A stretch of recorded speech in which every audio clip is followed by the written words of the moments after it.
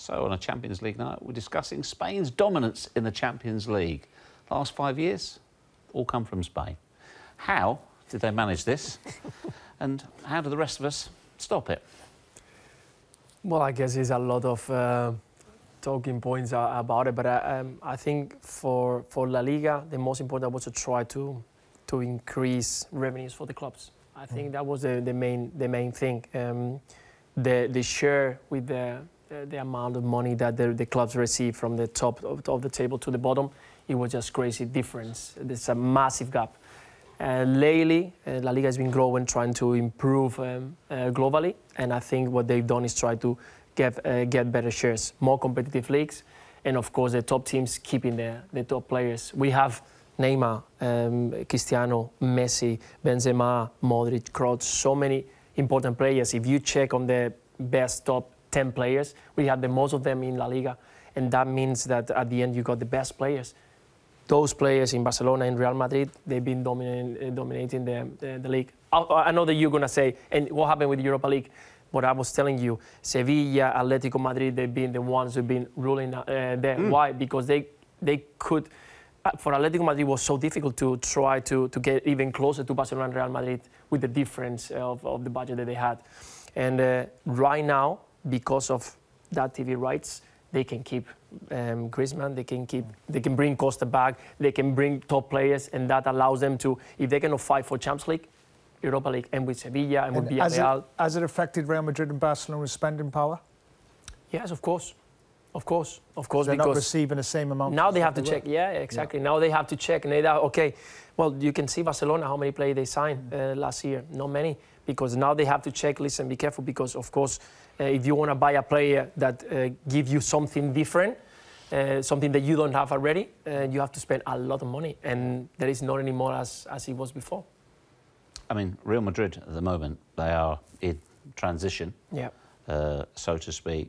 So might this be the year? I mean, obviously we can't, we've seen where Barcelona in their, their group, we're talking about them resting players, but could this be the year where possibly it's not a Spanish name yeah, on the trophy? Definitely, definitely. Uh, you got Atletico Madrid also there that um, is doing well. But um, I see very strong Manchester City. I see very strong Tottenham, even though the, the, today only with one a good result. But I see them very strong the way they play. I think that, that they can do well in, in European competition. Why not? They've been very close last year. So I think for this year, it could be the, the moment where everything changed. Or do you think when you kind of look at it and look at the Premier League, the Premier League, the style of football has evolved. So before it was always going to looking at the Spanish teams, how they, well, they keep the ball and you can't get near them. Well, actually, in the Premier League, when you look at the likes of Manchester City now, mm -hmm. they can also do that. They can play at a high tempo. They can change things quickly within a game. So maybe that's where we're looking at it, that teams are now being able to, well, we can't say match yet because we've not gone on to win a Champions League. Yeah, the Premier moment League to adapt team, exactly. Yeah. The way of playing to Premier League and the way of play is totally different. I mean, mm -hmm. you cannot play the same way when you play a Premier League game or you play a Champions League game because it's a totally different approach, a way of playing, and because it's only three points or it's a knockout stage, so you have to think about that. And I think um, that's uh, this year, um, like you said, you, we got teams in the Premier League who can adapt, can change that intensity on the on the game to uh, a more uh, calm and relaxed game where we can keep the ball a little bit more because in this game it's very important that we don't lose. So that, that way of uh, adapting to a, a, very fast game where you, you, you, you get the ball and straight away you go forward. That is the way the Premier League uh, teams used to play. Um, there is no um, stop in between. There was no uh, build-up. It was I get the ball in trans fast transition right now you can see teams that okay now we can keep the ball. Now we can rest with the ball. And this kind of thing is going to help i think uh, premier league teams to, to become that. Craig i want to come to you first of all on this tweet. Uh, spanish football it's had a huge influence on the premier league. Who would you say are your favourite? Or actually let's cut to the chase. Who's been the best spanish player to come to the premier league? We've um, we've had a, a, number of top Spanish players, but um, the one that stands out uh, has to be David Silva for me. Has that only been the case? Do you think he's only had the recognition in the last couple of seasons?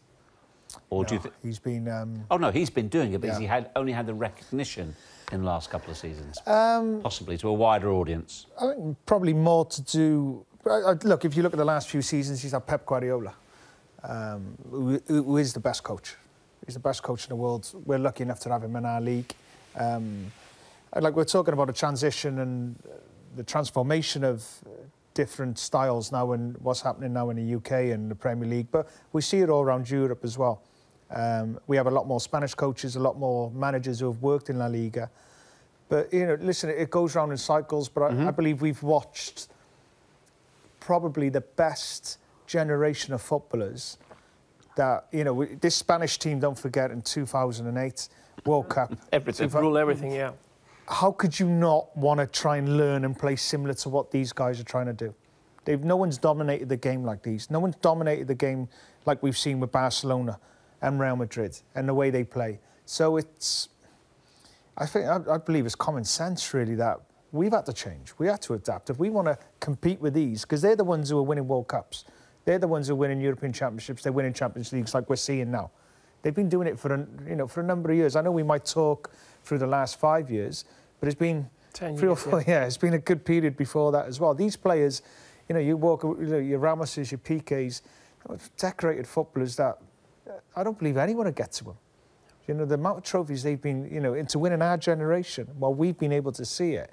And I believe a lot of coaches and I think a lot of fans have got cleverer as well. They, they understand the game a lot more now. They want to see it. Mm. And when I'll never sit here and say that's the right way to play or this is the wrong way to play. And there is no right or wrong in football, but I know what I want to see. And I'm actually, if I'm on, if I'm watching, say, you know, your Super Sunday or Saturday games. Now the coverage is not by all, but certainly with Sky, and you know the, the in-depth analysis we have to go to.